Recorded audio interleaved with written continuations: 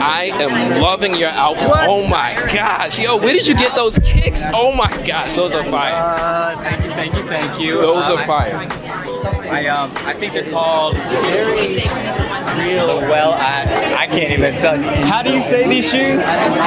Loewe. Loewe. Oh my. Loewe. And he what you really should know that is that this is a vintage 1996 um, Gucci designed by Tom Ford. Oh my gosh.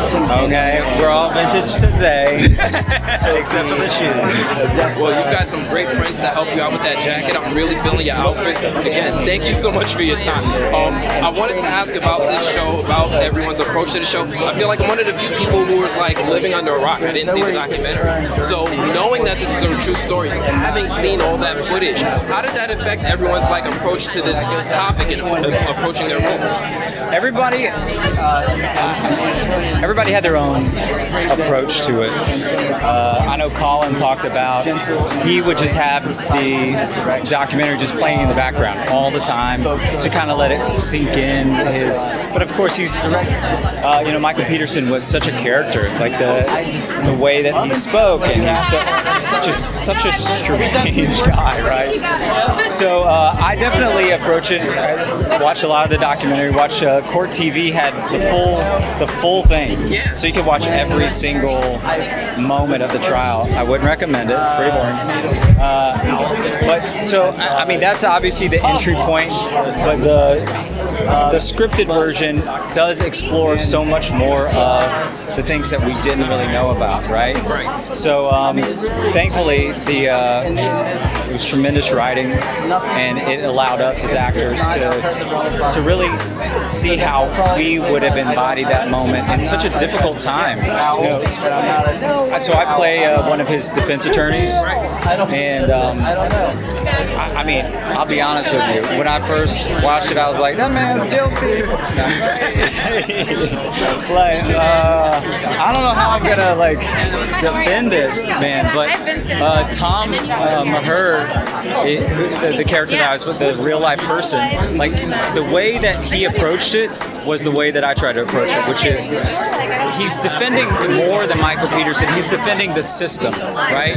He he does the job of making sure that the state proves beyond a reasonable doubt, which of course they don't believe happened in this case, uh, because of the abuses that can happen so easily and have happened within the American justice system, right? And and what we come to find out actually happened in this case.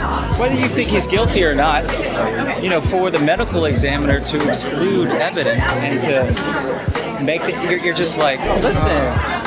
Ju- Just because you think you're on the side of right doesn't mean that you have the liberty to change things or withhold things. And, and so that that's what is so exciting about how this story plays out is because it really does call into question um,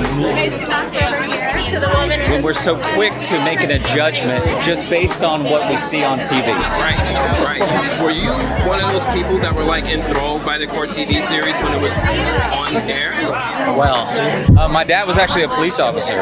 Okay. Yeah, yeah, yeah. In Alabama. So he was all about, you know, he didn't really watch the trials, but, you know, after OJ and everything became, you know, we as a nation started caring about what was happening in our court system. Uh, so that he found interesting, of course. Uh, but I, I was more on the art side of things. So it's funny now because I, I, didn't have any interest in being a lawyer or uh, being a police officer, and it's all I play. It's all I play, which is when people find out my name is Justice, they think that I'm a lawyer. Or they find out my dad was a police officer, they're like, oh, that makes sense. I was like, yeah, I guess it does. Yeah. You might be able to help me out with some uh, inside information. There you go. Well, thank you so much. I really appreciate your time. It's the Alzheimer's Association. Yeah, sure. So um, I, I'm taking care of my mother. She has an early onset Alzheimer's called posterior cortical atrophy, which is a rare form that causes her to go blind, but not in the traditional sense of just things going black.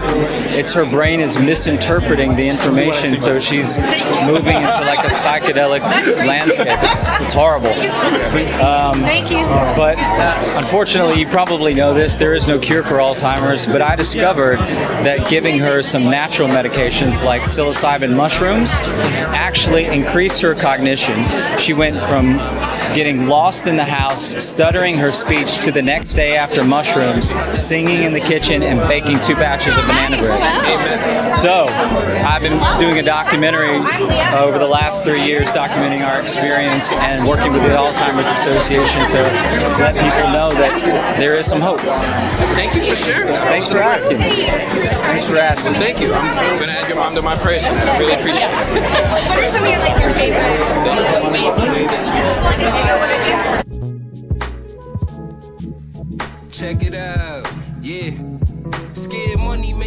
Of it. Don't ever let the chance pass you by. Just keep your eye on the prizes. Life keeps spinning, these rules I break them. Life keeps spinning, them risks I take them. Run way to a bag, nigga thought you in the way, but I flew by. That G6 was in the